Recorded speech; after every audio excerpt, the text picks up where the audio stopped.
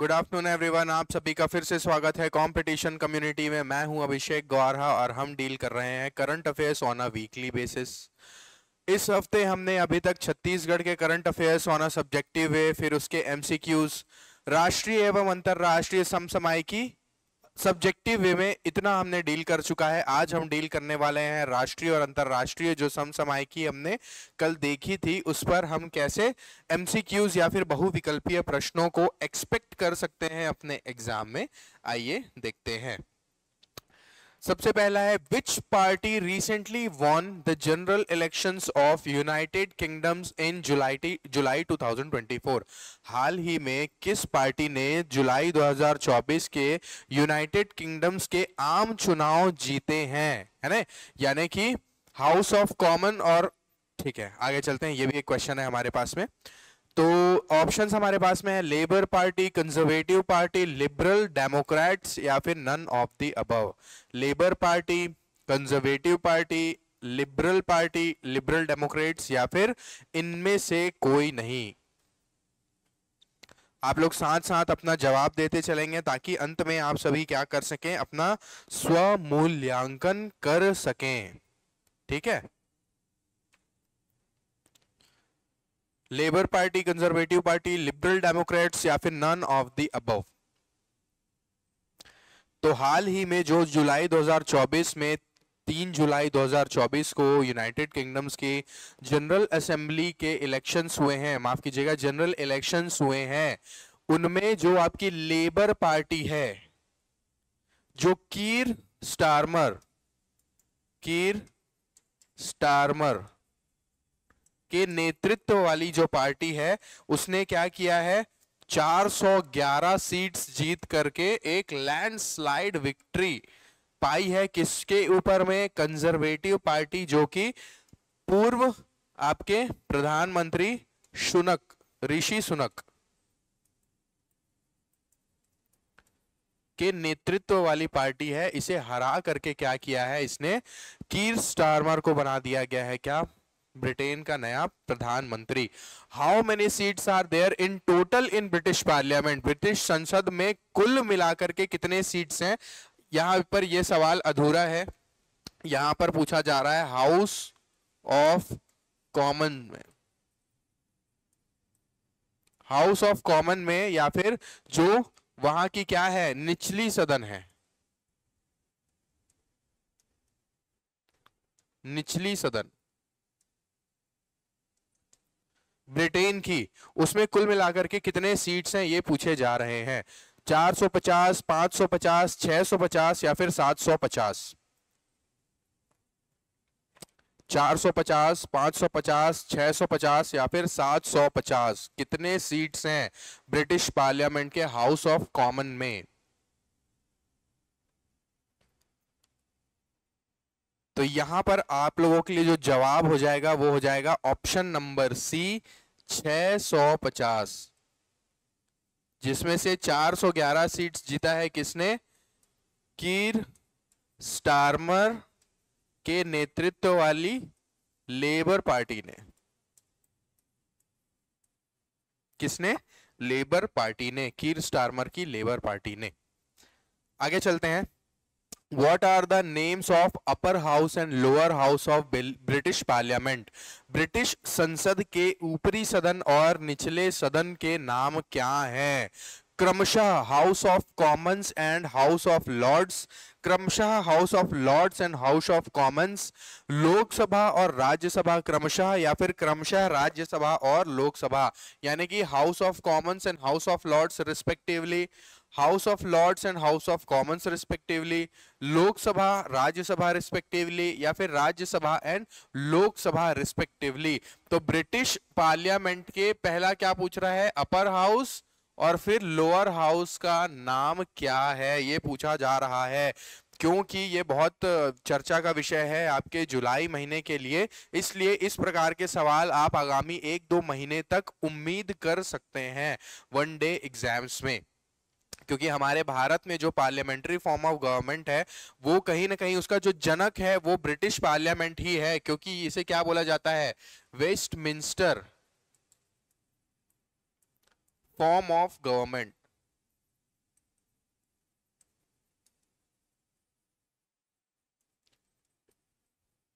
parliament form of government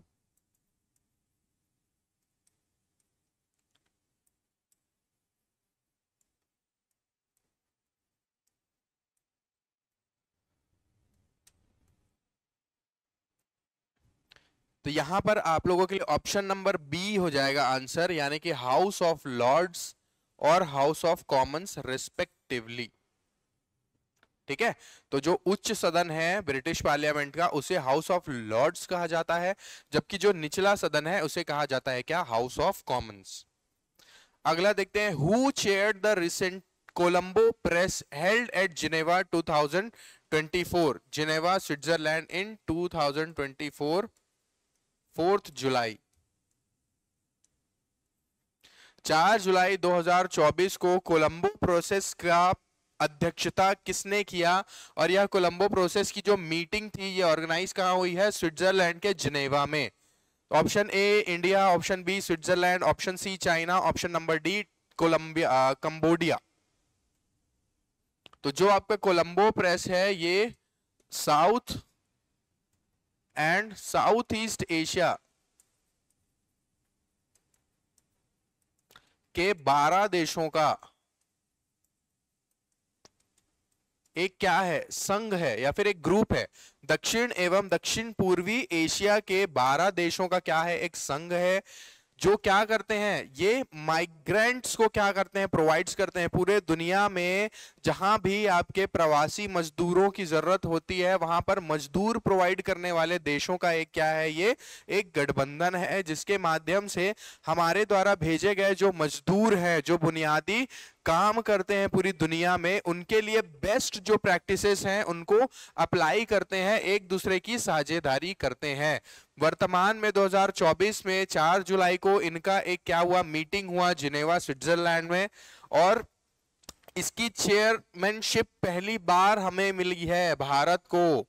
सन 2003 में Colombo press का गठन किया गया था और उसके बाद से अभी तक में पहली बार हमें क्या मिला है? इसका चेयरमैनशिप अध्यक्षता करने का मौका मिला है तो ऑप्शन नंबर ए हो जाएगा हमारे लिए क्या आंसर अगला क्वेश्चन देखते हैं कोलंबो प्रोसेस के बारे में क्या सत्य नहीं है? मतलब यहाँ पर क्या पूछ रहा है? कौन सा कथन गलत है? ये पूछा जा रहा है। यह बारह देशों का समूह है, बिल्कुल सत्य है। इसका गठन 2020 में हुआ था, बिल्कुल गलत। अब भी हमने देखा, इसका गठन कब हुआ था? 2003 में हुआ था। भारत, चीन, पाकिस्तान और नेपाल भी इस समूह के भागीदार हैं।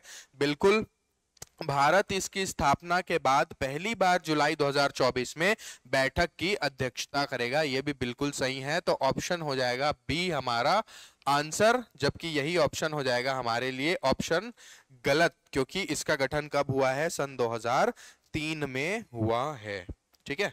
अगला क्वेश्चन देखते हैं who has recently been appointed as new foreign secretary to government of India यानी कि हाल ही में भारत सरकार के नए विदेश सचिव के रूप में निम्न में से किन्हें नियुक्त किया गया है? Option number A Vikram Misri option number B Rajendra Khanna option number C Budhana Shivananda Shivananda या फिर नन ऑफ़ दी अबव, इनमें से कोई नहीं। विक्रम मिस्त्री, राजेंद्र खन्ना, बुधाना शिवनंदा या फिर इनमें से कोई नहीं। किन्हें भारत सरकार का विदेश सचिव घोषित किया गया है, जो हमारे क्या रहे हैं? Ex deputy NSA national security adviser भी रहे हैं। विक्रम मिस्त्री, राजेंद्र खन्ना, बुधाना शिवनंदा या फिर नन ऑफ़ दी अबव। तो यहाँ पर आप लोगों के लिए ऑप्शन नंबर ए हो जाएँगे आंसर विक्रम मिस्त्री को हमारे भारत सरकार का क्या बना दिया गया है? विदेश सचिव बना दिया गया है। अब उनकी जगह डिप्यूटी एनएसए कौन बन गए हैं? यही आपका अगला सवाल है। Who has been appointed as national security adviser of India deputy national security adviser deputy NSA of India उप राष्ट्रीय सुरक्षा सलाहकार के रूप में किन्हें नियुक्त किया गया है? A, Ajit Doval, option B, Suresh Malhotra, C, Vikram Misri या फिर डी, राजेंद्र खन्ना? अजीत डोवाल, सुरेश मल्होत्रा, विक्रम मिस्त्री, राजेंद्र खन्ना? अभी हमने देखा, ऑप्शन नंबर सी जो है, विक्रम मिस्त्री, इन्हें क्या बना दिया गया है? फॉरेन सेक्रेटरी मतलब विदेश सचिव।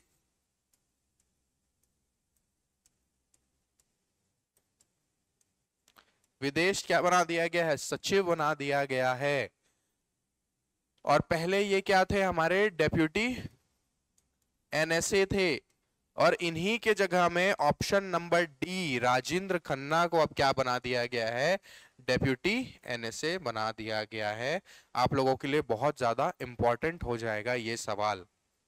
अगला सवाल देखते हैं which cricket player became the first player of India to top the ICC T twenty all rounders list यानी कि कौन सा क्रिकेट खिलाड़ी आईसीसी टी ट्वेंटी ऑल राउंडरों की सूची में शीर्ष स्थान पर पहुँचने वाला भारत का पहला खिलाड़ी बन गया है?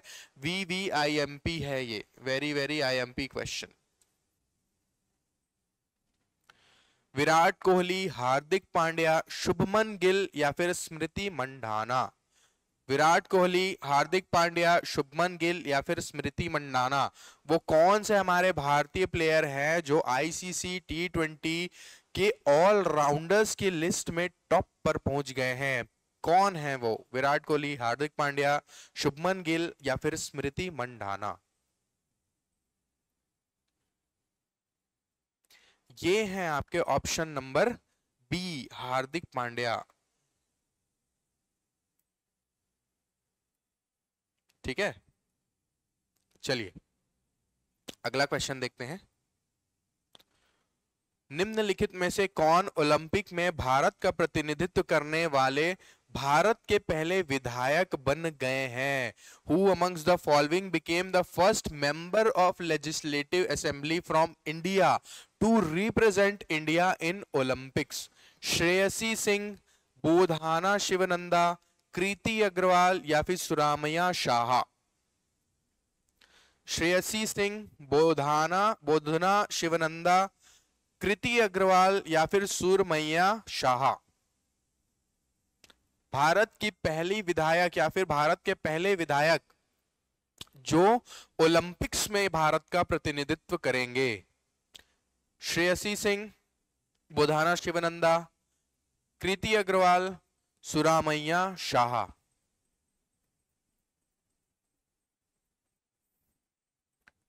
ये हैं आपके option number A Shreyasi Singh.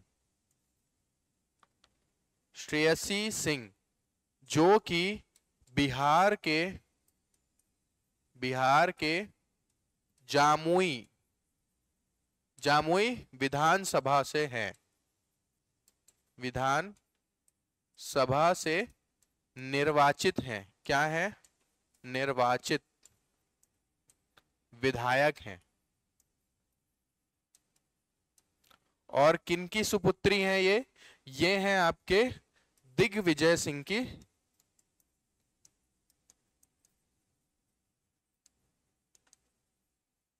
की सुपुत्री हैं ये, है ना? अब अगला चलते हैं।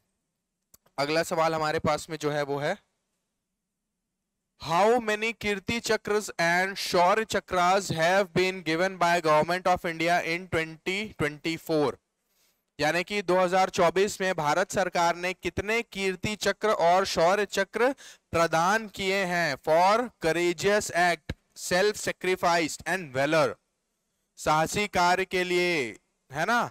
और बहुत साहसपूर्ण अपना प्रदर्शन करने के लिए किन्हें कितने कीर्ति चक्रों और कितने शौर्य चक्रों से सम्मानित किया गया है हमारे, जो फोर्सेस के, सेना के, हमारे सेना नायक हैं उनको।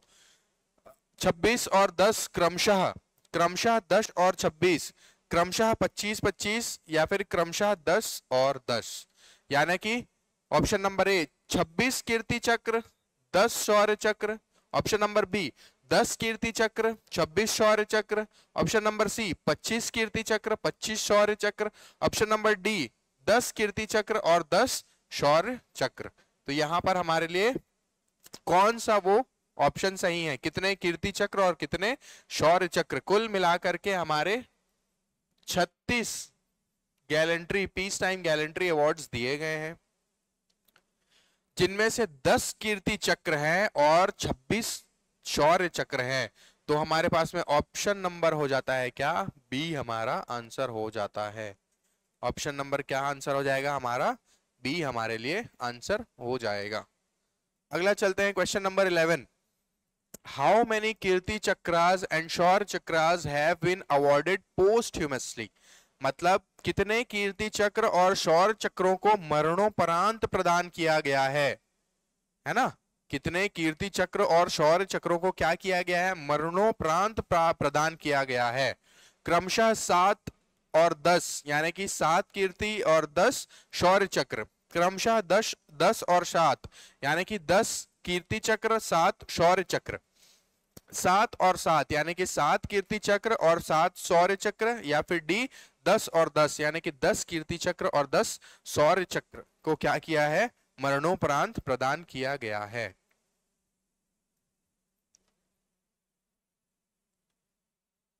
तो यहाँ पर हमारे लिए ऑप्शन नंबर सी हो जाएगा हमारा आंसर क्योंकि कुल दस कीर्ति चक्रों में से सात, कुल सेवन आउट ऑफ़ टेन को क्या किया गया है? पोस्ट ह्यूमसली दिया गया है। और वहीं जो शौर्य चक्र है, इसे कितना? Seven out of twenty six को क्या किया गया है? पोस्ट ह्यूमसली दिया गया है, ठीक है?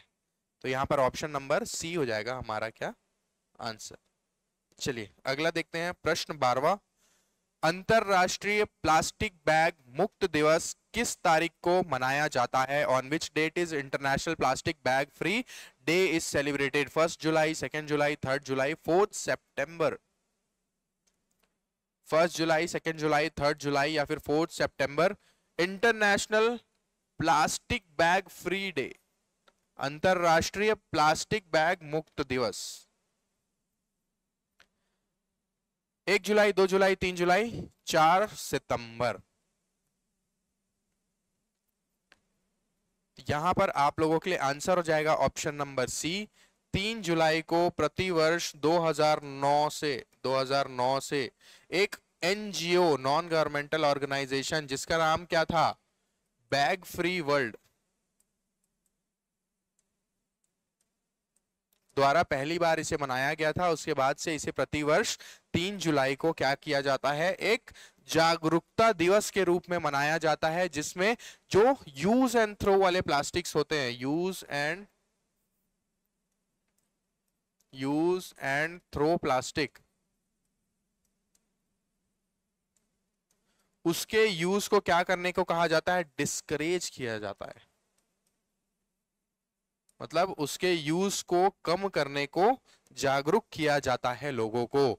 और आखिरी क्वेश्चन हमारे पास में है, विश्व खेल प्रेस दिवस हर साल कब मनाया जाता है? When is world sports press day every year celebrated first July second July third July या fourth September first July, second July, third July या फोर्थ सितंबर कब मनाया जाता है? विश्व खेल प्रेस दिवस। ये 1999 से 1999 से वर्ल्ड प्रेस कॉन्फ्रेंस द्वारा क्या किया जाता है? प्रतिवर्ष मनाया जाता है। और ये कब मनाया जाता है? तीन जुलाई को प्रतिवर्ष मनाया जाता है। तो यहाँ से आप लोगों के लिए ऑप्शन नंबर हो जाएगा क्या? ऑप्शन नंबर सी तो यहाँ पर हमारे लिए जो बहुविकल्पीय प्रश्नों का आज का सेशन था ये खत्म होता है। अगले हफ़्ते हम फिर से आप सभी के सामने उपस्थित होंगे।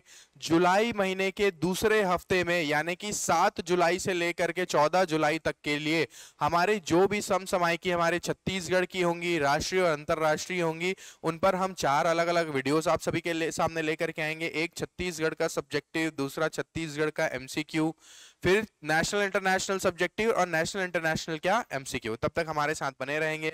हमारे चैनल को सब्सक्राइब करेंगे। बेल आइकन ज़रूर प्रेस कर लेंगे। थैंक यू अगर आप चाहते हैं अपने कैरियर को एक नई दिशा देना और सुनहरे भविष्य को साकार करना तो जुड़िए कंपटीशन कम्युनिटी के साथ। आज ही हमारे वेबसाइट के कैरियर पेज पर विज़िट करें अथवा डिस्क्रिप्शन बॉक्स पर दिए गए लिंक पर क्लिक करें। हमेशा आपके साथ टीम कोको